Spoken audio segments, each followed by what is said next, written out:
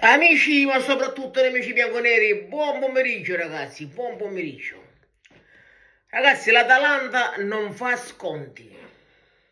Vuole 60 milioni sull'unghia per eh, Coppa Maier. Non fa sconti. E I bergamaschi sono categorici, niente, niente contropartite, niente, niente scambi, niente di niente pagare o niente giocatore. E 60 milioni ragazzi sono troppi. Con tutto il rispetto, come non ci vale 50 milioni Calafiori, non vale neanche 60 milioni Coppa Maier, nella maniera più assoluta. 40 milioni sono più che sufficienti. Fermo, fermo, fermo, mi fermo lì. E penso che si fermi anche la Juventus non penso che la Venezia vada, vada, vada, a imbastire anche lì una trattativa queste cifre. A questo punto direi a Giuntoli, Giuntoli, metti in moto anche un pochino il tuo, diciamo, DNA ed è quello dello scouting. È possibile che ancora tutt'oggi non abbiamo trovato un giocatore sconosciuto, non abbiamo trovato un giocatore che possa eh, fare bene alla Juventus e non, è, non sia un giocatore eh, top a livello di cartellino? Oppure non è possibile andare dall'Udinese a prenderci questo Smart, Smartic, come si chiama? Eh, Sala Smartic, come si chiama? Che questo ha un prezzo di 25 milioni ed è un ottimo, un ottimo giocatore. Mi fa, mi fa, mi fa meraviglia come ancora la Juventus torna su questo giocatore. Che ha un prezzo, un prezzo, un prezzo giusto e ha un'ottima resa. Mi fa meraviglia come ancora la Juventus su questo giocatore ci dorma.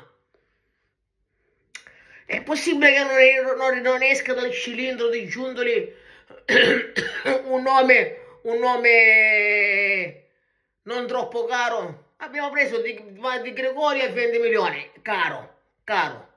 Abbiamo preso Douglas Lutz, caro. Abbiamo dato due contropartite, poi c'è addirittura chi dice che le abbiamo svendute. Fate voi, fate voi su questo concetto. Abbiamo preso uh, Turam, non abbiamo preso il giusto, abbiamo speso. Abbiamo speso, non è che non abbiamo speso. Abbiamo venduto, abbiamo venduto eh, Ken eh, alla, alla Fiorentina ed è stato un colpo di genio. Però dal cilindro può essere che non sbuca nulla perché ragazzi, 60 milioni per, eh, per Coppa sono troppi. Non si, non si discute. Anche se loro stanno prendendo Zaniolo, eh, non lo so, non lo so. Mm, non penso che la Juventus possa, possa fare qualcosa per questo, su, su, queste, su queste cifre, su queste basi. È escluso, è escluso. Vorrei tanto che a Giuntoli magari gli esca la scienza come a Napoli e se ne esca fuori con un Lobocta, se ne esca fuori con un'Angustia, se ne esca fuori con una Cravasteia. C'è gente che cartellino basso poi con la valorizzazione di Motta eh, è tutta un'altra, un'altra roba. Io lo sto aspettando ancora questo, questo, questo passaggio. E, e ci sta, ci sta. Anche perché quelli, diciamo, di grido già li abbiamo presi. Due giocatori a centrocampo li abbiamo presi.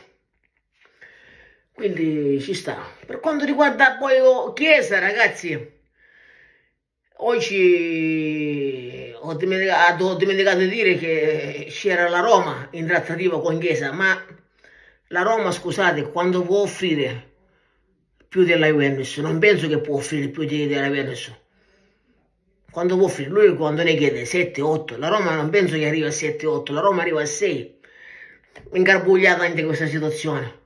Ingarbugliata molto mo, molto mo, molto ingarbugliata. Però ormai penso che con Chiesa la strada sia, sia stata già presa. Però però ribadisco per fare l'ultimo passo per prendere questo benedetto centrocampista che dovrebbe chiudere il cerchio per quanto riguarda il centrocampo 60 milioni sono troppi, sono troppi, sono troppi, sono troppi ragazzi, sono troppi, sono troppi, sono troppi. Giuntoli, vai dall'Udinese a prendere Smartic, vai all'Udinese, È un grande giocatore questo. Non costa tanto, ma veramente è uno che sa fare il suo mestiere. Vai a prendere il giocatore dell'Udinese. Fidati.